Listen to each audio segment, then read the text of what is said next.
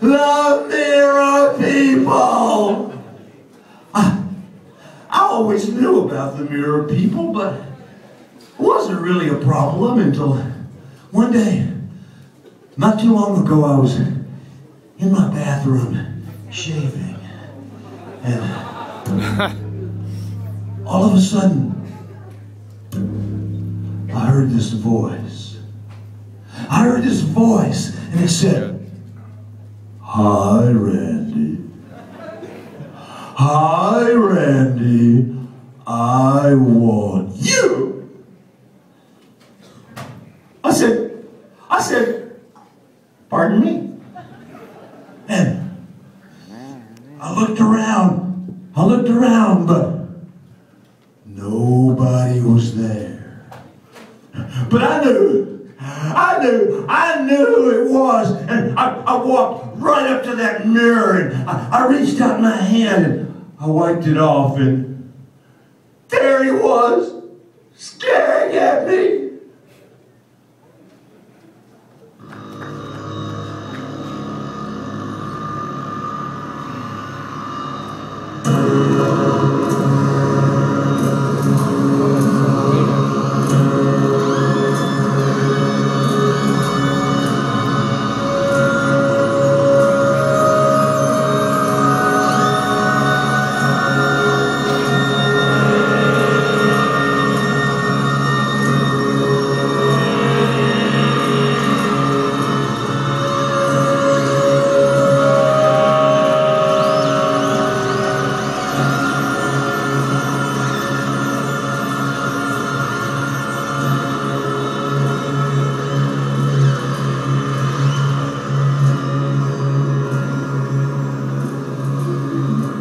It's only been two weeks since Howard died, so I guess I should be destroyed, a miserable wretch, shattered and scattered like the shards of a discarded whiskey bottle hitting the pavement.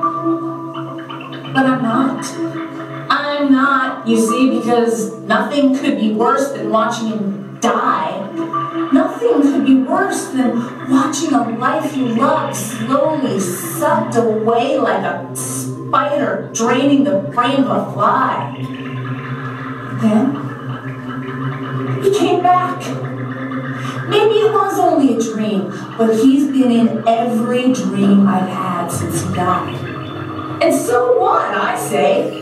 Who needs reality filled with grief when love lives in your dreams? In the past, dreams faded quickly. But since Howard died, they're like permanent movies living inside my mind. Every second of every dream is alive. It's mine. Whenever I want it.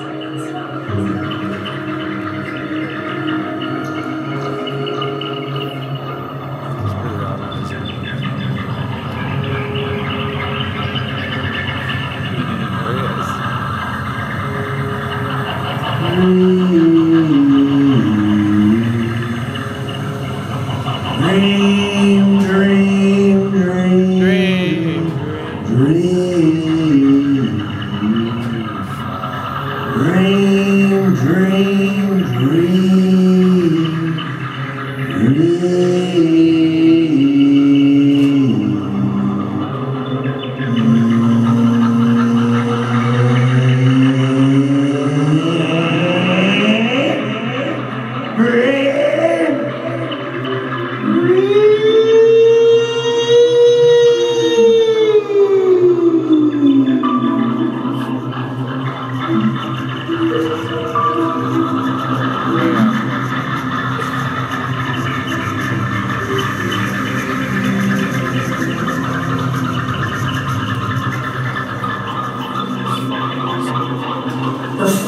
night was like a lamp lit in the blindness of a black and empty room. The flame of the lamp grew brighter and brighter until the room disappeared, replaced by his face, shining like the center of the sun. Arms emerged from each cheek, opening wide in an obvious invitation to the space between his large and blood-red lips.